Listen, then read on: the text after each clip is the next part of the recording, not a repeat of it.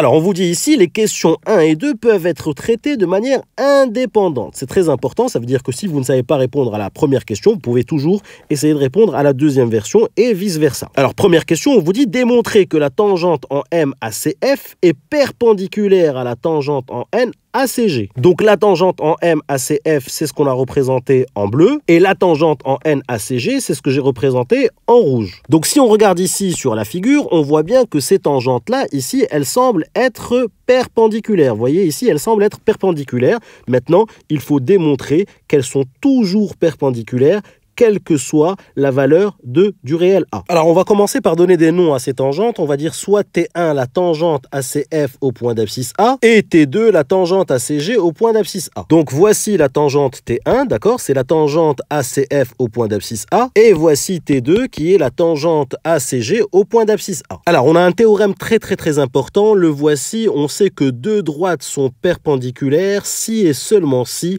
le produit de leur coefficient directeur est égal à moins 1. Théorème très très important.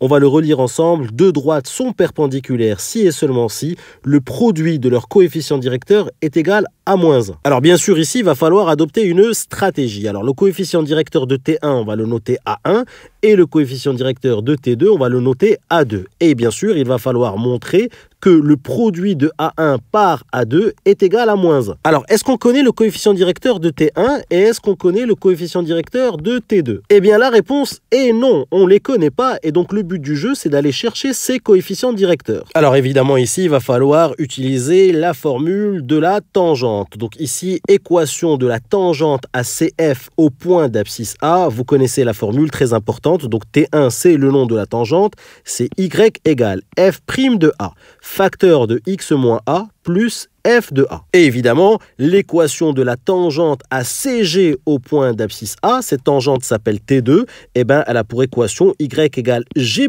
de A, facteur de x moins a, plus G de A. Alors, quel est le coefficient directeur de T1 Le coefficient directeur de T1, rappelez-vous, c'est ce qu'on a noté A1. Et eh ben, ce coefficient directeur, c'est tout simplement le nombre dérivé en A, c'est-à-dire f' de A.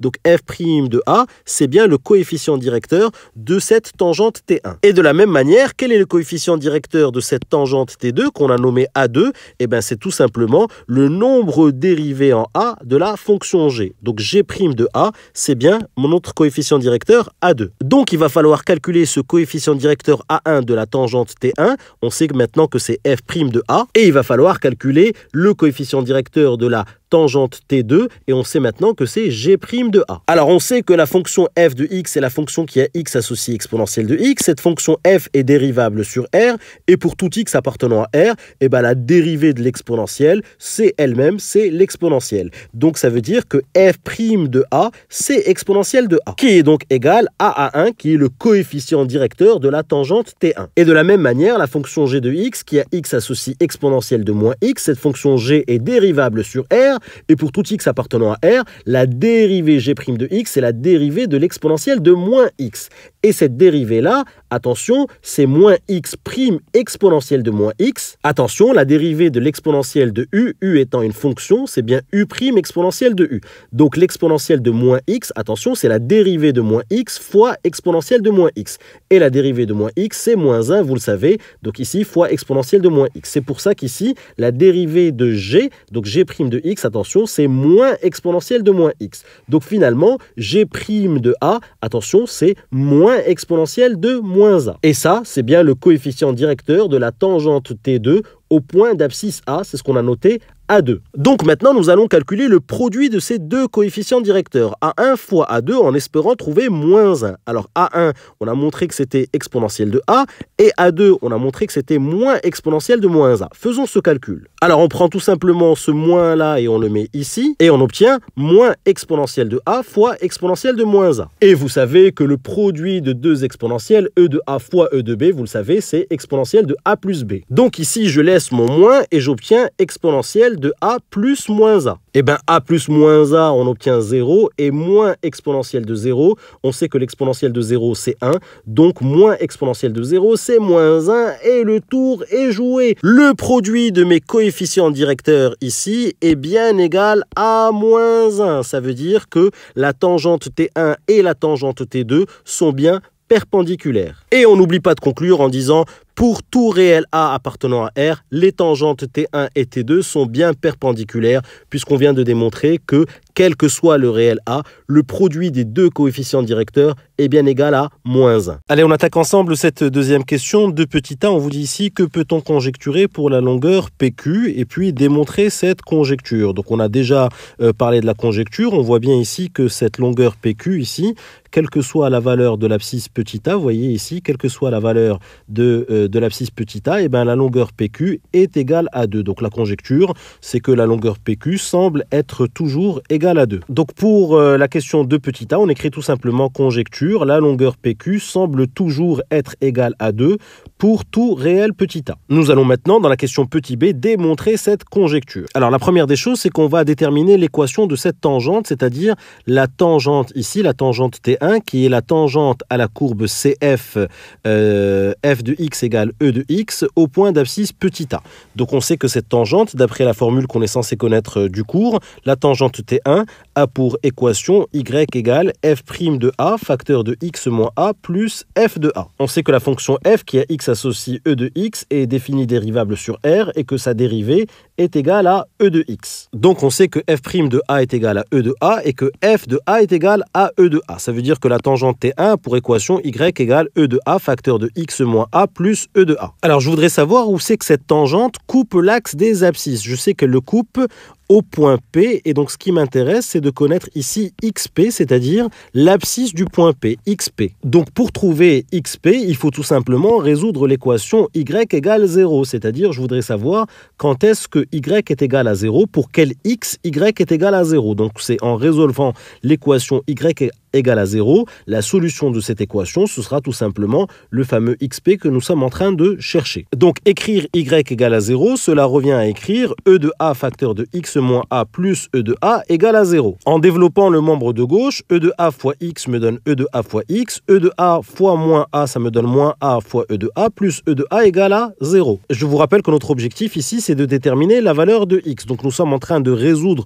l'équation y égale à 0 pour trouver quelle est la valeur de x pour laquelle y est égal à 0. Donc il va falloir isoler le x dans le membre de gauche. Donc je passe toute cette quantité dans le membre de droite ici, vous voyez, et j'obtiens e de a fois x égale a fois e de a moins e de a. Et en divisant à droite et à gauche par e de a, j'obtiens x égale a E de A moins E de A sur E de A. Et puis en cassant la fraction, j'obtiens A E de A sur E de A moins E de A sur O de E de A. Et en simplifiant, je trouve a moins 1. Donc je peux dire que cette tangente T1 coupe l'axe des abscisses en P au point P et ce point P là a pour abscisse et eh ben, ce qu'on vient de trouver, c'est-à-dire XP est égal à a moins 1. Je vais maintenant de la même manière déterminer l'équation de cette tangente T2, d'accord? La tangente T2, c'est la tangente à la courbe CG d'équation G de x égale E de moins x, et cette tangente T2, elle coupe l'axe des abscisses ici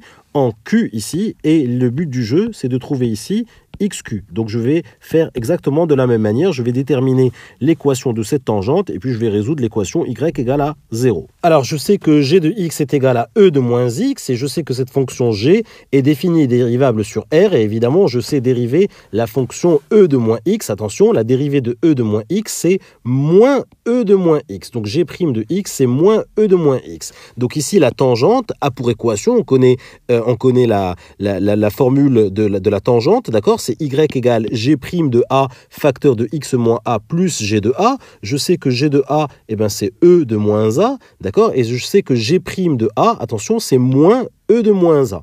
D'accord? Donc ici, la tangente T2 a pour équation y égale moins e de moins a facteur de x moins a plus e de moins a. Je développe ici le membre de droite et j'obtiens moins e de moins a fois x plus a e de moins a plus e de moins a. Donc cette tangente T2 a pour équation y égale moins e de moins a fois x plus a fois e de moins a plus e de moins a. On sait que cette tangente T2 ici va venir couper l'axe des abscisses ici au point Q qui a pour abscisse XQ. Et pour trouver XQ, ben, il faut résoudre y égale 0. Donc l'équation y égale à 0 est équivalente à moins e de moins a fois x plus a e de moins a plus e de moins a égale 0. Et l'idée ici, c'est de venir isoler ce x-là, puisque nous sommes en train de résoudre l'équation y égale 0. Et ce que je cherche ici, c'est le x, qui sera évidemment le xq ici. Donc là, regardez, je, je passe tout ceci de l'autre côté. Donc le a e de moins a plus e de moins a va passer dans le membre de droite. C'est ce que j'ai fait ici. Ça devient, ça devient ici moins a e de moins a moins e de moins a. Donc ici, dans le membre de gauche, j'ai moins e de moins a fois x. Et puis ici, je vais diviser à droite et à gauche par moins e de moins a. C'est ce que je fais à l'étape d'après. Et j'obtiens moins a e de moins a moins e de moins a divisé par moins e de moins a.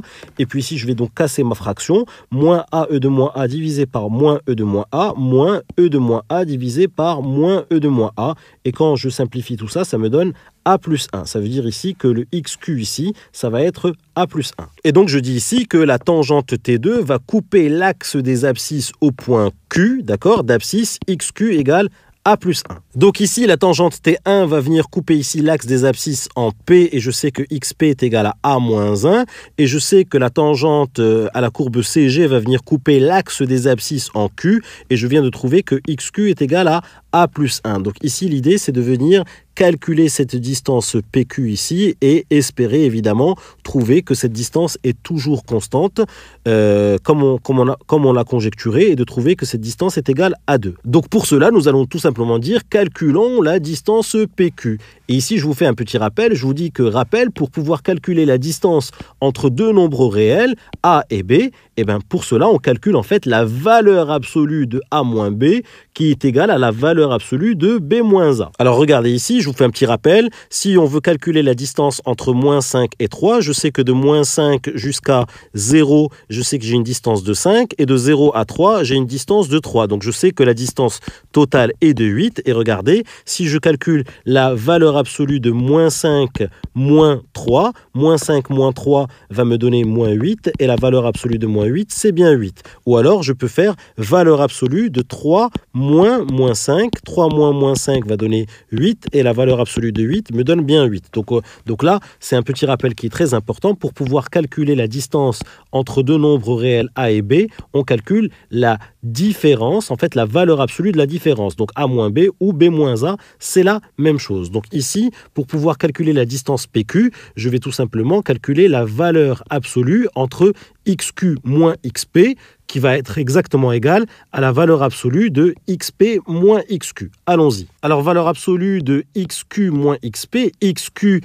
c'est a plus 1, xp c'est a moins 1, donc xq moins xp, ici c'est a plus 1 moins a plus 1 quand je développe, et donc ça va me donner, ici, le a va se simplifier avec le moins a, 1 plus 1 va me donner 2, et puis la valeur absolue de 2, c'est bien 2. évidemment, si on avait calculé la valeur absolue de xp moins xq, xp c'est a moins 1, xq c'est a plus 1, moins devant la parenthèse, je développe a moins 1 moins a moins 1, ça va me donner valeur absolue de moins 2, et la valeur absolue de moins 2, c'est bien 2. Donc là, je viens de montrer que quel que soit le réel A, eh ben cette distance PQ est toujours égale à 2. Donc c'était une démonstration plutôt simple. Alors je n'oublie pas de conclure évidemment en disant pour tout A appartenant à R, donc quel que soit A appartenant à R, la distance PQ est égale à 2, CQFD, ce qu'il fallait démontrer puisque j'avais émis une conjecture et maintenant cette conjecture a bien été démontrée. Voilà pour cet exercice. Et si tu as aimé cette vidéo, n'oublie pas d'aller consulter tous les liens que je t'ai mis en description, très important.